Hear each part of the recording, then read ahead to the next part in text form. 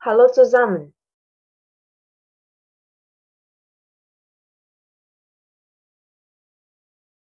Heute geht es weiter mit dem Thema gesunde Lebensweise. Man sagt, dass Vegetarier gesünder leben. Stimmt das?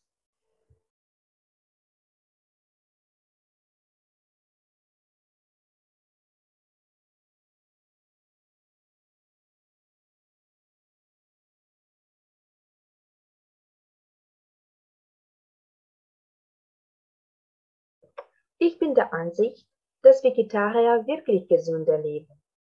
Es gibt viele wissenschaftliche Untersuchungen, die beweisen, dass die vegetarische Ernährung positiv die Gesundheit und das Wohlbefinden eines Menschen bewirkt. Man sollte nicht außer Acht lassen, dass Vegetarier auch selten rauchen, keinen Alkohol trinken und mehr Sport treiben. Ihr Ernährungsstil ist also gleichzeitig sehr oft in einen grundsätzlich gesünderen Lifestyle eingebettet. All das bewirkt sich natürlich positiv auf Herz, Blutdruck, Cholesterin und vieles andere aus. Vegetarier sind im Schnitt schlanker, haben einen niedrigeren Blutdruck, niedrigere Blutfettwerte und auch ein geringeres Risiko für Diabetes.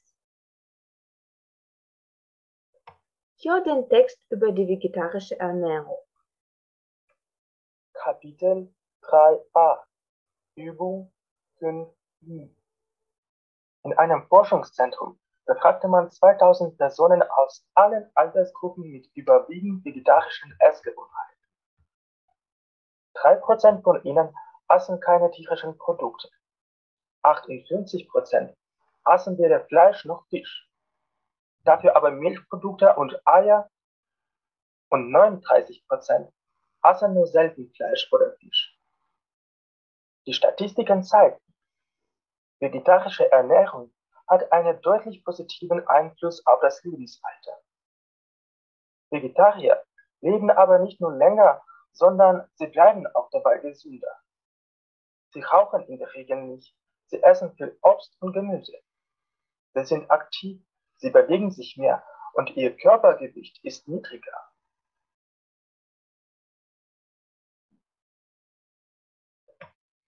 Stopp das Video, lässt den Text durch und schreibt alle Vorteile der vegetarischen Ernährung heraus.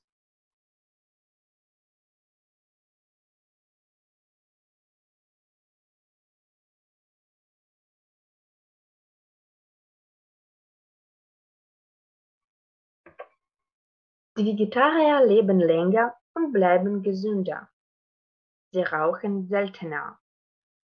Sie sind aktiv und bewegen sich viel. Sie haben kein Übergewicht und sie sind schlanker. Wisst ihr, was bedeutet der Begriff Bio- und Ökoprodukte?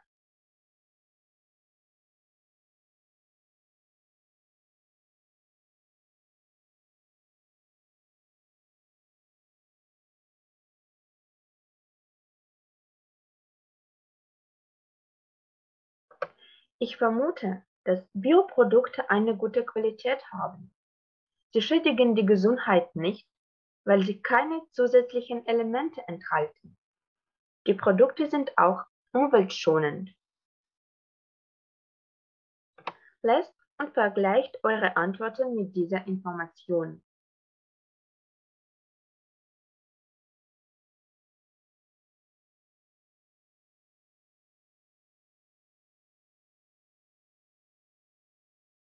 Haltet das Video an und beantwortet die Fragen. Esst ihr nur Bioprodukte? Möchtet ihr mehr Bioprodukte essen? Kauft ihr nur Bioprodukte? Wo kauft ihr Bioprodukte? Sind Bioprodukte teuer? Sind Bioprodukte gesund?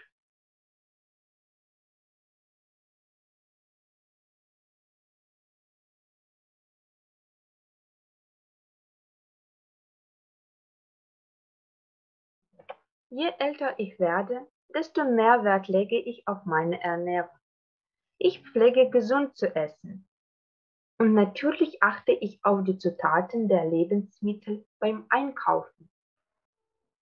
Aber ich kann sagen, dass ich nicht nur Bioprodukte esse und kaufe. Das sind teurer, aber sie sind gesünder und der besten Qualität. Heute ist die Bio-Richtung sehr populär und diese Produkte können überall gekauft werden. Fast in jedem Supermarkt gibt es Abteilungen mit Bioprodukten. In den Großstädten sind Ökoläden beliebt, wo man die Lebensmittel ohne zusätzliche Elemente kaufen kann. Wenn es um Obst und Gemüse, Fisch und Fleisch oder Milchprodukte geht, gibt es eine große Auswahl auf den Märkten.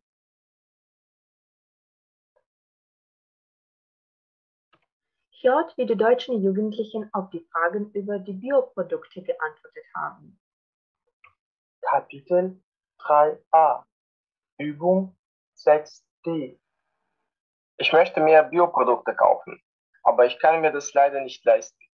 Ökologische Produkte sind teuer. Natürlich möchte ich Bioprodukte kaufen, zum Beispiel Bio-Hamburger. Sie sind gesünder, schmecken lecker und machen satt. Aber sie sind nicht in allen Geschäften und außerdem kosten sie sehr viel. Unsere Familie ernährt sich gesund und wir kaufen oft Bioprodukte. Ich esse morgens Müsli und viele Äpfel aus dem Biogarten. Meine Mutter kocht sehr viel Gemüse und mein Vater kauft immer Brot im Bioladen oder auf dem Markt. Es ist wichtig, darauf zu achten, was man isst. Die Lebensmittel wie Brot, Nudeln, Obst sollten bio sein und nicht viel kosten, weil man sie oft isst. Stoppt das Video, lässt die Antworten durch und macht Kommentare zu jeder Aussage. Womit seid ihr einverstanden? Was haltet ihr für richtig?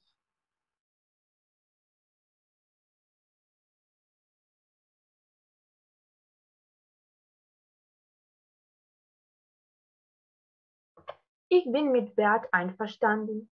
Die Bioprodukte sind teuer und nicht alle können sich leisten, diese Lebensmittel zu kaufen. Aber das kann man erklären. Sie sind gesünder und die Qualität ist besser.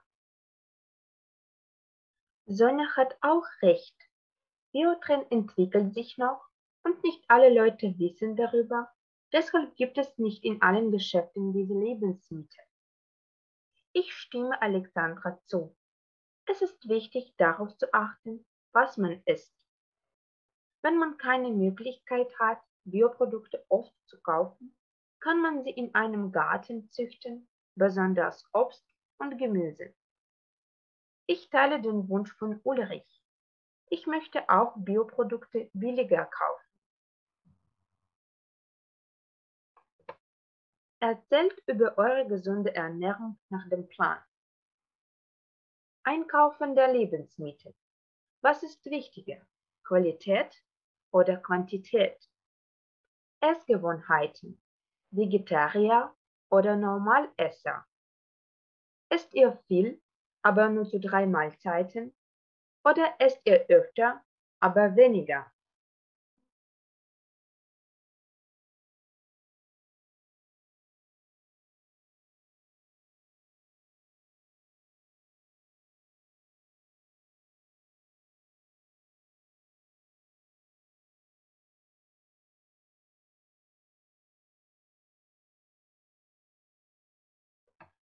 Ich denke über meine Ernährung viel nach.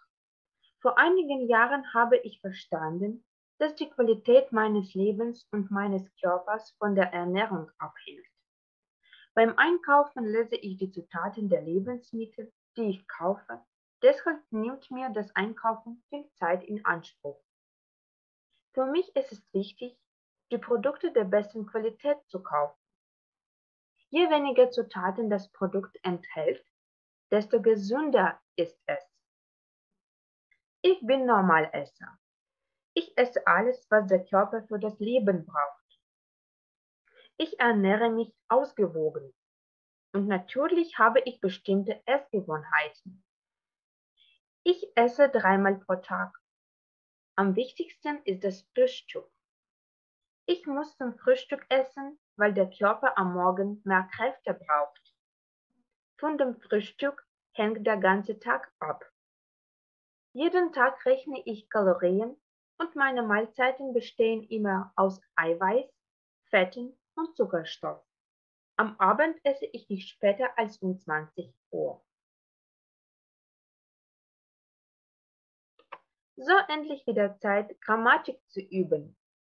Stoppt das Video, lässt und merkt euch die Endungen der Adjektive, wenn sie ohne Artikel стehen. Bestimmt den Kasus.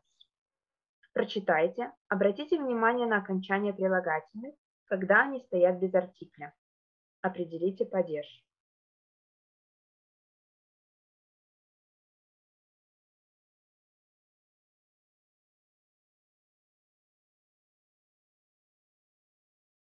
Prima gemacht. Prüfen wir. Da liegt frisches Brot. Окончанию прилагательного «es» – это именительный падеж. Ich mag frisches Brot. Окончанию прилагательного «es» – это винительный падеж. Ich esse Fleisch mit frischem Brot gern. Окончанию прилагательного «em» – это дательный падеж. Ich genieße den Geruch frischen Brots. Окончание прилагательного «en» – это родительный падеж. Starker Kaffee schmeckt gut. Окончание прилагательного «er» – это именительный падеж. Ich mag starken Kaffee. Окончание прилагательного «en» – это винительный падеж. Ich mag Kuchen mit starkem Kaffee. Окончание прилагательного «em» – это дательный падеж. Ich genieße den Geruch starken Kaffees. Окончание прилагательного «en» – это родительный падеж.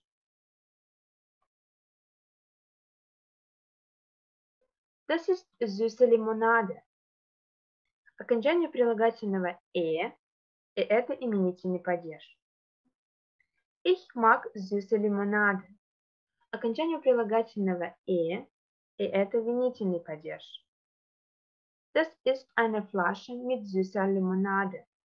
Окончание прилагательного «er» и это дательный падеж. Ich genieße den Geschmack süßer Limonade.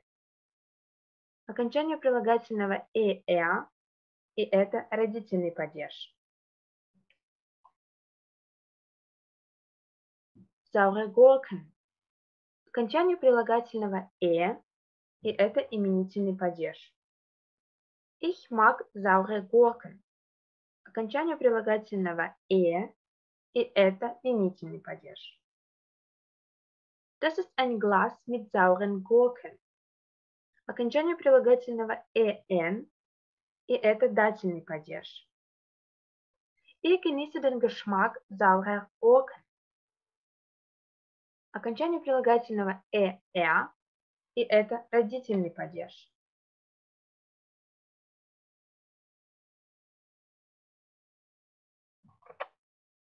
Stoppt das Video und erstellt in euren Heften Tabellen wie diese und tragt die Beispiele aus der Übung 1 in eure Tabellen ein.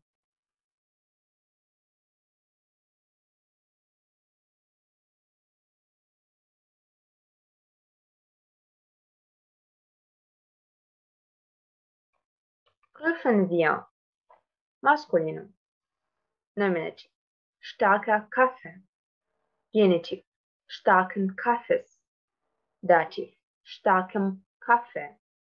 Akkusativ. Starken Kaffee. Neutrum. Nominativ. Frisches Brot. Genitiv. Frischen Brotes. Dativ. Frischem Brot.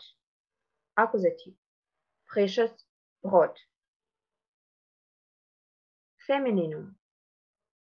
Nominativ. Süße Limonade. Genitiv. Süßer Limonade. Dativ. Süßer Limonade. Akkusativ. Süße Limonade. Plural. Nominativ. Saure Gurken. Genitiv.